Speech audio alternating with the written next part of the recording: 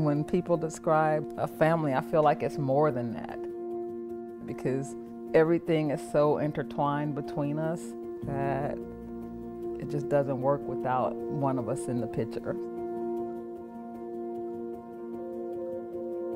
Hello, my name is Levi.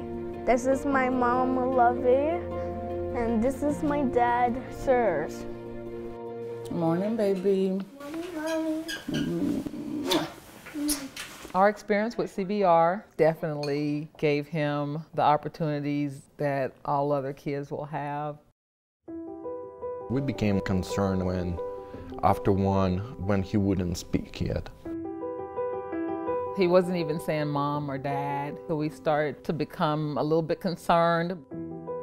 Finding out that our son was autistic, we were like fearful of what was going to happen to him in the future and what his life might be. He didn't really interact with other kids. They could play all around him, and it was like they didn't exist. He was just in his own little world. It was sad, really, really sad, and feeling hopeless, not knowing how to help. I started reading what autism is. Is there any kind of help?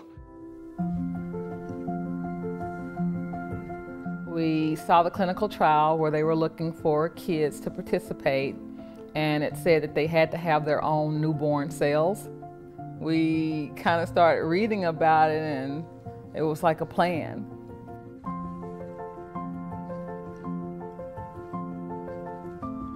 I was at the doctor's office when I first saw the CBR pamphlet on the table.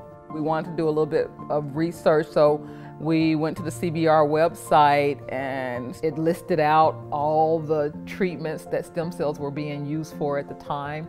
It also listed out things that were being studied, and that helped us in making our decision.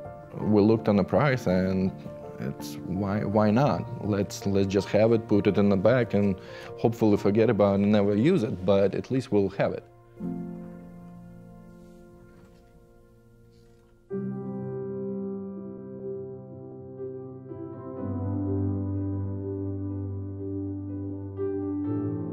It was just that realization that, holy smoke, we stored his, his, his newborn cells. So there's, there's an answer right there. And, and we felt like that our son has a chance at life.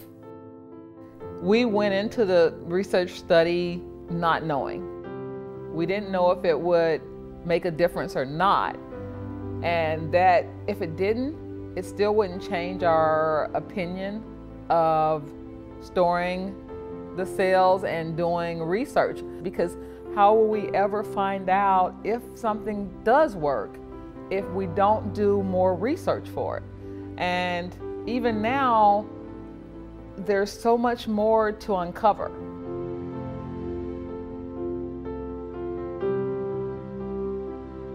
The research study itself was a year long process, and over that time period, what we saw was just amazing. We're thankful that CBR offered that kind of service and that something within us told us to participate. Maybe telling the story will make people research for themselves and find all the many diseases that that can be treated using stem cells.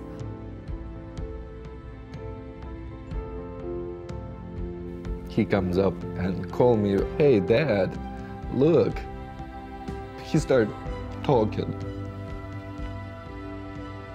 The communication, the touching, the talking, so many things that he didn't do and participate in was actually no longer an issue.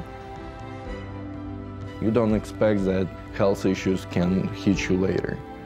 But investing into newborn cells is definitely one of those that gives you peace of mind. And that investment that we've done is life changing. It's comforting because that fear of what's going to happen when we're gone is no longer there. We don't have to worry about who's going to take care of him because he's going to be able to take care of himself. There is no greater feeling than, than knowing that he's going to be okay.